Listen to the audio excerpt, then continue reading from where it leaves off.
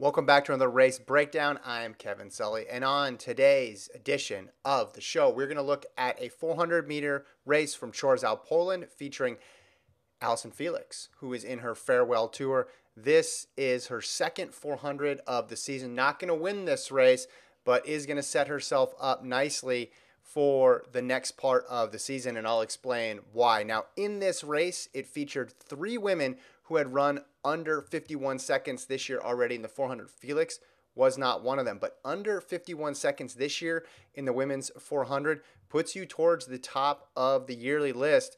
Um, to Felix's outside, you see Felix right here. To her outside, Kaczmarek of Poland. She's one of the best 400 meter runners in the world this year. So Felix getting a pretty good test here. It's not a Diamond League competition, but it does have some of the top women in the world. Let's take a look now at this final 100. So inside of Felix is one of those sub 51 second runners this year. Święty-Ersetic of Poland, then Kaczmarek to her outside.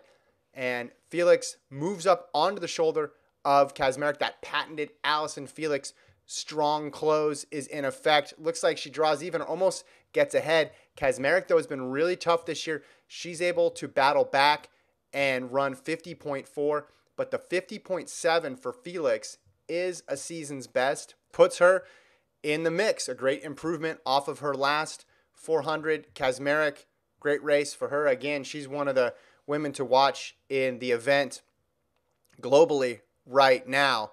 But Felix could be on the path now to making her 15th global team. 15th global team.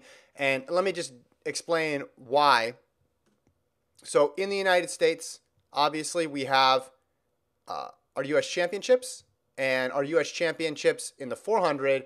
Basically, if you get to the finals, you're going to be on either the relay pool for the 4x4 or the mixed gender relay pool because there's two 4x4s at the global championships. So the thinking is all Felix needs to do is make it into the final at USA's in a couple weeks in Eugene, and she would have a relay spot if she wants it. Now, let's look at what it would take to get that spot. First of all, let's just look on the US side of things where Felix's mark ranks this year. That 50.7 that we just saw that she ran. Let's pull up the US list here and ignore those first two. Those are done there by error. So Wilson, Mu, Kennedy Simon, Allyson Felix. That's the top four right now in the United States. Now, Britton Wilson is a 400 meter hurdler. She might run the 400 at USA's. I don't know. Athing Mu, 800 meter primarily. We think she's going to focus on that. Kennedy Simon, the collegian, then Felix, then a couple more collegians, then some veterans in Ellis and Irby. But Felix is in a great spot. Now, what sort of time would it take just to get to the finals? We're not even talking about top three in qualifying individually, which would be an amazing feat for Felix to pull that off once again. When she said at the beginning of the season, she's not about you know the time on the clock. She's just about enjoying this last journey. We're a couple weeks out, and that's possible. But let's just let's just slow down on that and look at what it would take. So to get to the final, this is the trials last year. Um, this is the semifinals. So Shae Anderson, 51.27. That's what made it into the final of the women's 400. Then, if you want to go a step ahead, what did it take to make the team? Well, that was a step up. That was 50.03 by Jonathas. Remember, Felix got second in 50.02. But the number here, 51.27, is the spot that got Anderson into the final, which puts you in the mix for the relay pool. All right, let's go back another couple years 2019 U.S. Championships.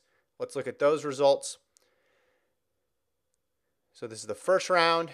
Then we'll go down here to the second round. Was actually, it required a slower time that year, 52.02. Now, Felix made it through 51.45. Remember, that was the year where she debuted at the U.S. Championships, but 52.02 made it 51.45 was what Felix ran.